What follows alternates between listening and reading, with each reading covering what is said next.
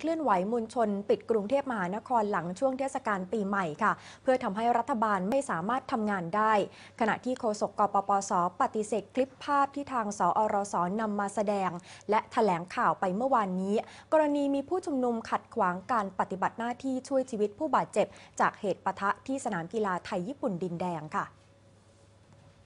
นายสุเทพเทือกสุบรรณเลขาธิการกปปส ระบุบนเวทีปราศัยเมื่อคืนนี้ ต่อกรณีที่หลายจังหวัดในภาคใต้ ไม่สามารถเปิดรับสมัครสอสอได้ทำให้มีความชัดเจนจากสถานการณ์ที่เกิดจากการเลือกตั้งครั้งนี้ จะไม่ประสบความสำเร็จแน่นอน และเชื่อว่าแม้จะมีการสมัครรับเลือกตั้งได้ในที่สุด แต่ก็จะไม่ได้สอสอตามเกณฑ์ที่ขอเปิดสภาได้ นอกจากนี้นายสุเทพยังย้ำค่ะว่า หลังจากช่วงปีใหม่ จะเริ่มการเคลื่อนไหวมวลชนครั้งใหญ่ในกรุงเทพมหานคร โดยนายสุเทพใช้คำว่าปฏิบัติการยึดกรุงเทพ ซึ่งเป็นการเคลื่อนมวลชนไปตามถนนทุกเส้นทาง ให้กลายเป็นถนนคนเดิน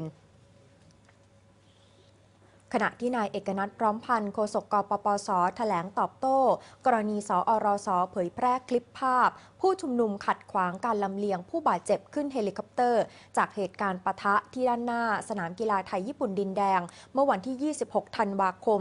โดยยืนยันว่าเป็นการใส่ร้ายผู้ชุมนุม เพราะผู้ชุมนุมไม่สามารถเข้าไปยังสถานที่ที่เฮลิคอปเตอร์จอดอยู่ได้ ซึ่งเป็นพื้นที่ที่ตำรวจดูแลอยู่ทั้งหมด นายเอกนัฏยังระบุว่าขณะนี้มีความพยายามที่จะสร้างความเกลียดชัง ระหว่างผู้ชุมนุมและเจ้าหน้าที่ระดับปฏิบัติการ เพื่อสร้างความขัดแย้งให้มีเหตุรุนแรงเกิดขึ้น โดยเฉพาะกรณีเหตุกราดยิงกลุ่มคอปทเสียชีวิต